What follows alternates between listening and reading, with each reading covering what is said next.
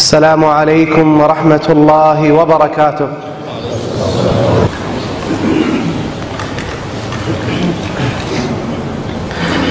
الحمد لله الحمد لله الذي أرسل رسوله بالهدى ودين الحق ليظهره على الدين كله والحمد لله على ما قدره بحكمته من دقيق الأمر وجله.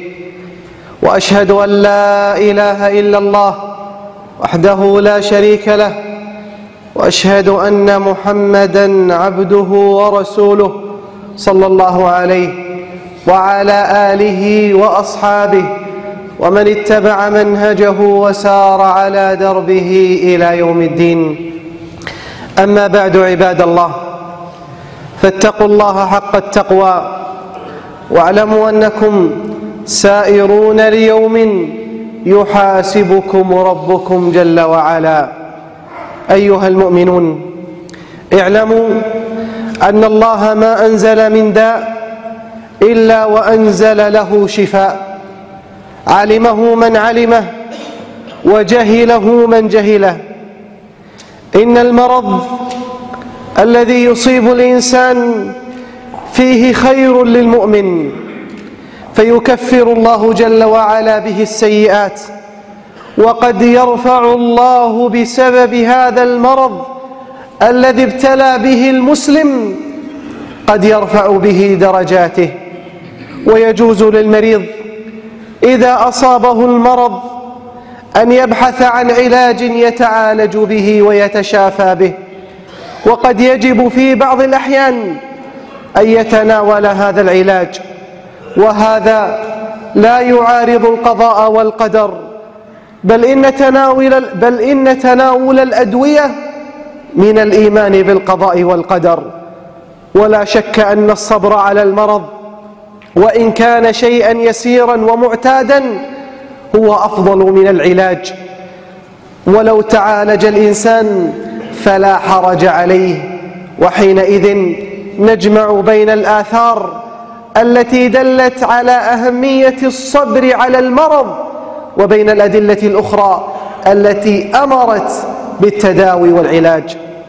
ثم اعلموا رحمكم الله أن العلاج نوعان. نوع بالأدوية المعروفة عند الأطباء وفي المستشفيات ونوع آخر من الأدوية ومن أنفعها وأنجعها هو العلاج بالرقية والتداوي بالنصوص الشرعية مما سيأتي ذكره. وكلاهما التداوي عند الأطباء أو التداوي بالرقية مما جاءت بالأدلة الشرعية الحث عليها. ولذا سنلخص الكلام في هذه الخطبة عن الرقية الشرعية. كيف نعملها؟ وما الجائز فيها وما الممنوع منها حتى نعرف أن هناك علاجا قد غفل عنه الناس وهو التداوي بالنصوص الشرعية. أيها أيها المؤمنون اعلموا أن الرقية الشرعية لا تجوز إلا إذا توافر فيها ثلاثة شروط. الشرط الأول أن تكون بكلام الله أو بأسمائه أو بصفاته. فإذا رقاك إنسان وتمتم كلاما غير معروف أو استعان بجن فإن هذا هو الشرك الذي نهى الله عنه. فإن الرقية لا تكون مشروعة إلا إذا كانت بكلام الله مما جاء في كتاب الله أو كانت بأسمائه وصفاته. الثاني أن تكون باللسان العربي أو بما يعرف معناه ولا أن يأتيه منكسرا منيبا خاضعا ذليلا. وهذا لا يأتي إلا إذا شعر الإنسان بغصة مرارة المرض في نفسه. فإن الأكمل في التوحيد والأنفع في الشفاء أن ترقي نفسك بنفسك. القرآن الذي لديك هو القرآن الذي لدى الشيخ. ما تقرأه أنت هو ما سيقرأ عليك. إذا ما الفرق؟ حقيقة لا فرق. ولذا تجد الناس يسافرون من مكان إلى مكان أو يتقصدون أو يدفعون الأموال لأجل من يقرأ عليهم ويرقيهم. لماذا؟ لديك لسان عربي تعرف تقرأ؟ افتح المصحف وارقي نفسك بنفسك فإنه أنفع لك وأخلص لك وأوجب في توحيدك. أيها المسلمون قد ثبت أن النبي صلى الله عليه وسلم كان يرقي نفسه ويرقي أهله لأنه صلى الله عليه وسلم يعلم أن الأفضل أن يرقي الإنسان نفسه. ثم أن السبب الثاني مما يدل, يدل على أن رقية الإنسان لنفسه أفضل من الذهاب لغيره أنه أعظم في التوكل. لأن طلب الرقية من الغير فيه قصور في جانب التوكل. ولذا كان من صفات السبعين ألفا الذين يدخلون الجنة بغير حساب ولا عذاب أنهم لا يطلبون من غيرهم أن يرقيهم. فإذا أردت أن تكون من هذا الصنف احذر أن تطلب من أحد أن يرقيك. ما الحل؟ ارقي نفسك بنفسك فإنه أنفع في الشفاء. الثالث من الأسباب التي تدل على أفضلية أن يرقي الإنسان نفسه أنه أيسر وأكثر. فمتى ما استطعت أن ترقي نفسك وأردت ذلك أو أراد أهلك باستطاعتك أن ترقيهم مرارا وتكرارا. ولا تحتاج إلى حجز المواعيد أو الذهاب إلى مسافات طويلة حتى تتحصل على شيخ أو إمام يقرأ عليك. الرابع أنه أبعد عن الفتنة.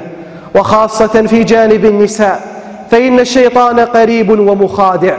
قد يغري هذا الذي يقرأ على هذه المرأة أو يغري هذه المرأة بمن يقرأ عليها. ولا شك أن الله جل وعلا حذرنا من اتباع خطوات الشيطان. كما قال الله يا أيها الذين آمنوا لا تتبعوا خطوات الشيطان. ومن يتبع خطوات الشيطان فإنه يأمر بالفحشاء والمنكر. أيها المسلمون ليس هناك طريق للرقية لا بد منه بل الرقية بالقرآن نافعة بإذن الله على أي وجه كانت. فمن ذلك أن يقرأ على أن يقرأ الإنسان على نفسه أو على المريض الذي أمامه وينفث بعد القراءة. يقرأ آيات ثم ينفث على جسد هذا المريض إما جسد جسد نفسه أو جسد الذي أمامه. سواء كان بعد قراءة سورة كاملة أو بعد قراءة آية أو آيتين كل ذلك جائز. وليس هناك طريقة معينة للنفث وإنما القرآن كله نافع. نفذت بعد قراءة سورة كاملة أو بعد مجموع آيات أو آية أو آيتين كل ذلك لا حرج منه. وإن وضعت يدك على مكان الألم فإنه نافع أيضا مع القراءة. وقد جاءت الأدلة بنحو ذلك. والنفث هو إخراج الهواء من الفم ومعه شيء من الريق. ولو نفث ولو قرأ بدون نفث فإن ذلك جائز ولله الحمد. فالمراد قراءة آيات الله على جسد ذلك المريض. ومن الرقية أيضا أن يقرأ الإنسان في ماء أو في عسل أو في زيت زيتون فيشربه المريض أو يدهن به في موضع الألم. قال الإمام محمد بن صالح العثيمين رحمه الله قال أن ينفث الإنسان بريق تلا فيه القرآن الكريم مثل أن يقرأ الفاتحة وينفث في الماء فإن هذا لا بأس به. وقد, فلع فقد وقد فعله السلف وهو مجرب ونافع بإذن الله. ومن الرقية أيضا أن تقرأ القرآن وتنفث في يديك وتمسح على مكان الألم. قد جاء عن عائشة أمنا أم المؤمنين رضي الله عنها وأرضاها.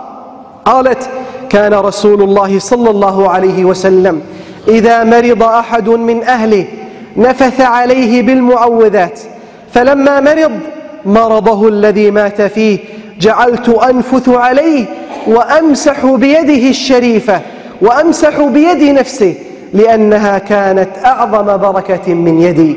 فتستطيع أن تقرأ وتنفث في يديك وتمسح على مكان الألم. وفي صحيح البخاري رضي الله عنها أن النبي صلى الله عليه وسلم كان, كان إذا أوى إلى فراشه كل ليلة جمع كفيه ثم نفث فيهما فقرأ فيهما. قل هو الله أحد وقل أعوذ برب الفلق وقل أعوذ برب الناس ثم يمسح بهما ما استطاع من جسده يبدأ بهما على رأسه ووجهه وما أقبل من جسده يفعل ذلك ثلاث مرات. وهذه من التعويذات التي ينبغي أن نحرص عليها كل ليلة إذا أوينا إلى فرشنا. أسأل الله جل وعلا أن يشافي ويعافي كل مريض ومبتلى أقول ما تسمعون استغفر الله لي ولكم من كل ذنب فاستغفروه إنه هو الغفور الرحيم.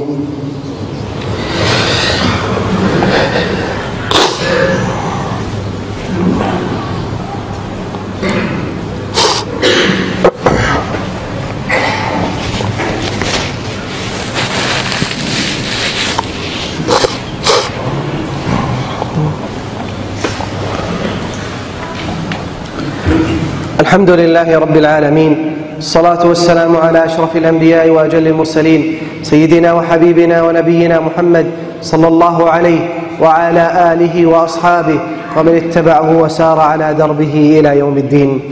أيها المؤمنون وإنه مما ينبغي التنبيه عليه أن مدة الرقية تختلف باختلاف المرض والمريض فكما أن الأدوية المعاصرة تحتاج اليوم لاستعمالها وقتا قد يقصر وقد يطول فكذلك الرقية تحتاج إلى وقت قصير وقد يطول هذا الوقت فعليه لا يستطيل المريض المدة ثم يذهب للسحرة والمشعوذين فإن هذا قد يذهب بتوحيده ويخرجه من دائرة الإسلام بل عليه أن يرقي نفسه ويقرأ على نفسه ويسأل الله الشفاء. حتى يأتي وقت الشفاء من الله.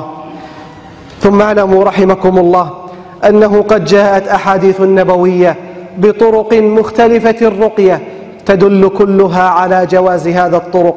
ومن ذلك أن يضع الإنسان على يده على مكان الألم من جسده ويقول بسم الله ثلاث مرات ويقول سبع مرات أعوذ بالله وقدرته من شر ما أجد وأحاذر. أعوذ بالله وقدرته من شر ما أجد وأحاذر. يقرأها سبع مرات على مكان الألم الذي وضع يده عليه. بعد أن يقرأ ثلاث مرات بسم الله. فإنها كذلك من الرقية التي تنفع بإذن الله جل وعلا. ومن أنواع الرقية أيضا أن يأخذ الإنسان من ريق نفسه ويضعه على إصبعه ثم يضعه في التراب فيعلق شيء من التراب ثم يمسح به موضع الجرح أو موضع الألم ويقول بسم الله تربة أرضنا بريقة بعضنا ليشفى به سقيمنا بإذن ربنا. فقد جاء في صحيح الإمام البخاري عن أمنا أم المؤمنين عائشة رضي الله عنها أن رسول الله صلى الله عليه وسلم كان إذا اشتكى الإنسان الشيء منه أو كانت به قرحة أو جرح قال النبي صلى الله عليه وسلم بإصبعه هكذا ووضع سفيان ووضع سفيان سبابته بالأرض ثم رفعها فعلق شيئا من التراب في إصبعه ثم قال بسم الله تربة أرضنا بريقة بعضنا ليشفى به سقيمنا بإذن ربنا ثم يضعه على مكان الألم وهذا قد ثبت في صحيح الإمام البخاري. أيها المؤمنون قصة عجيبة تبين لنا كيف أن سورة الفاتحة من أعظم سور القرآن التي يرقى بها المرضى. كثيرا من اليوم قد يلم بأبنائنا صداع أو انفلونزا عارضة أو زكام ثم نسرع به إلى الطبيب. وننسى ونتغافل أن هناك أدوية شرعية هي من أعظم الأمور التي يستشفى بها. فلماذا لا تقرأ على ابنك الفاتحة؟ إذا أصابه شيء من هذه الأمراض فإنها والله إن صادفت قلبا متوكلا فإنها من أنفع الأمور لشفاء تلك الأمراض. قد جاء عن أبي سعيد الخدري رضي الله عنه وأرضاه قال نزلنا منزلا فأتتنا امرأة فقالت إن سيد الحي سليم لدغ. فهل فيكم من راق؟ يعني هل فيكم من إنسان يحسن الرقية؟ فقام معها رجل منا يعني من الصحابة. قال ما كنا نظنه يحسن الرقية. فرقاه بفاتحة الكتاب سورة الفاتحة. رقاه بفاتحة الكتاب. فبرئ من وقته.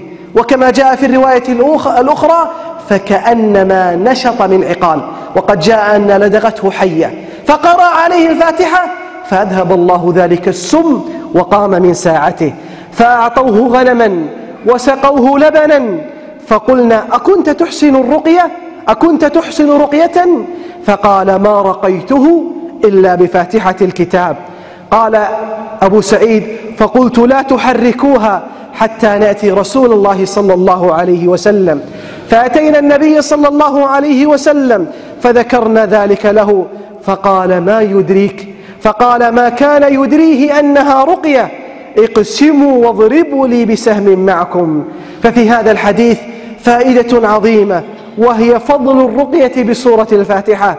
وفيه جواز أخذ المال على الرقية لا سيما إذا كان بعد الشفاء كما قال أهل العلم. وكما قال أهل العلم أنه لا ينبغي اتخاذ الرقية مهنة يتفرق لها ولكن لو رقى بمقابل مالي فلا بأس بذلك. عباد الله صلوا وسلموا على من أمركم ربي بالصلاة والسلام عليه نبينا نبي الرحمة محمد بن عبد الله. اللهم صل وسلم وبارك وأكرم وأنعم على حبيبك محمد بن عبد الله. اللهم ارض عن الخلفاء الأربعة أبي بكر وعمر وعثمان وعلي وسائر الصحابة وأمهاتنا أمهات المؤمنين. يا ذا الجلال والإكرام. اللهم إنا نسألك أن تعز الإسلام والمسلمين وتذل الشرك والمشركين. اللهم إنا نسألك من الخير كله عاجله وآجله. ما علمنا منه وما لم نعلم ونعوذ بك من الشر كله عاجله وآجله. ما علمنا منه وما لم نعلم. اللهم إنا نسألك الأمن والأمان لديارنا هذه ولسائر ديار المسلمين. اللهم أصلح ولاة أمورنا وفقهم إلى كل خير. اعنهم على كل طاعة. هيئ لهم كل السبل التي تنفعهم وتنفع أمتهم يا ذا الجلال والإكرام. اللهم انصر إخواننا المستضعفين في بلاد الشام. مكن لهم يا ربي. اكسي يا حي يا قيوم عاريهم. أطعم جائعهم. أمن خائفهم. يا حي يا قيوم. فإنهم لا حول لهم ولا قوة إلا بك يا ذا الجلال والإكرام. اللهم انصر إخواننا في فلسطين وانصر أهل السنة في العراق انصرهم في أفريقيا الوسطى انصرهم في أراكان.